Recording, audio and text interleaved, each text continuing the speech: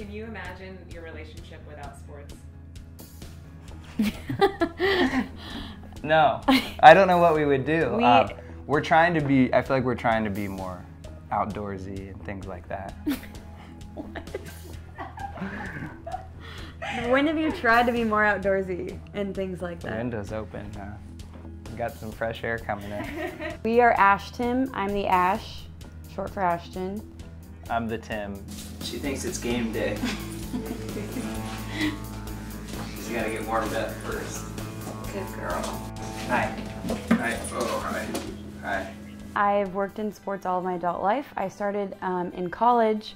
I was a part of the video department for the football team at Oregon State. I went to Villanova. I worked as a student assistant on the coaching staff on the football team there, and then in graduate work at Oregon State with the coaching staff working with the defense. And I don't officially work in sports anymore, but I think it's safe to say that I still watch more sports than ever.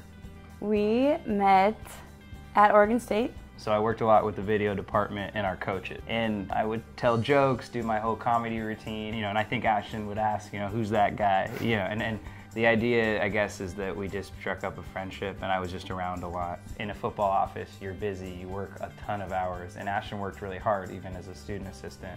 I don't want people to uh, read this, so you gotta turn the pages real quick. it's really, really lame. It really is. Tim was a little bit different to me than um, a lot of those other sports guys because he was a lot more sensitive and caring, um, and he just kind of like had his ish together. Yeah, there was something a little different about old Tim. Old Tim. I'm always one of those people that I'm drawn to people that are very creative, and I love that she made those highlight videos, and that was really cool to me to see her put in that work. I mean, there's nobody that matched my love of sports, but also understood, you know, the job I was in. And there really is times Ashtyn knows way more about sports than I do, especially now. You know, I think Ashtyn's good at making it known that she knows things too, whether whether they're right or wrong. But you know, um, I think that that's a, a good quality of hers. So.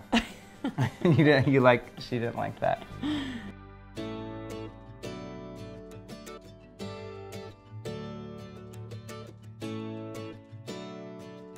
My favorite teams are the Portland Trail Blazers. Obviously, I have this uh, Triller Damian Lillard shirt. Um, absolutely anything Oregon State. Russell Westbrook also has my heart, so can't forget. But. Damian has your. Yeah, He's got your full heart. Yeah. But Russ can have the pieces. yeah. I don't know where I fall in, but somewhere there. The Kansas City Chiefs, I love. Um, that's my NFL team. Priest Holmes was like my favorite player ever. He was a running back. I still have two Priest Holmes jerseys. Um, those were my those are my faves. Always have been, always will be. You know, growing up in San Diego, I was a diehard Chargers and Padres fan. Um, the former San Diego Chargers fan, so I'm not a Chargers fan anymore, unfortunately. Um, yeah, big big news here. I mean, now I'll just show you how stressful my Saturdays are. So I watch Oregon State football every Saturday, Michigan, Nebraska, Villanova, and now I just added San Jose State to my roster here on Saturdays. So the reason I watch all these games because I have friends and you know I would even say family at, at all of those programs.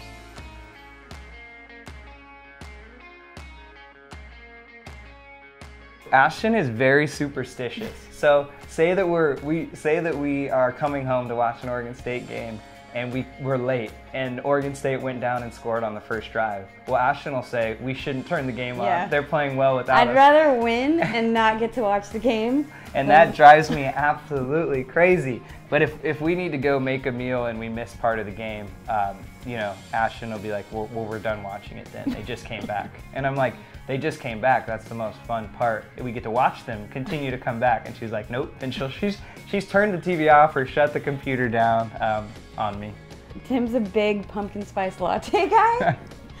Usually you'll like wake me up with one or whatever. You'll be like, Yeah. "We got them, we're ready," and then we're just like literally sitting watching like ten games for the whole day with like a pumpkin spice latte. Yeah, that's, a That's a good big- tradition. Fall means pumpkin spice lattes in football. okay, you don't laugh. Tim is the Relish's office manager. He comes in, he's like our facilities guy. He like takes care of things. If we need him to build a standing desk, he'll do it. If we need him to mount a TV, he has to do that soon. He doesn't know that yet. Um, so Tim is not only our cheerleader, but he's also yeah, I didn't know that. Tim's not only our cheerleader, but he's also our office manager. manager. Ashtyn, I love you even though your superstitions get in the way and, and I miss half of the games I want to watch. I would love you even if you didn't love Oregon State. Is that true? No, that's not true. That's Okay, not true. let's try it again. I love you because you're the glass half full to my sports glass half empty. Give dabs.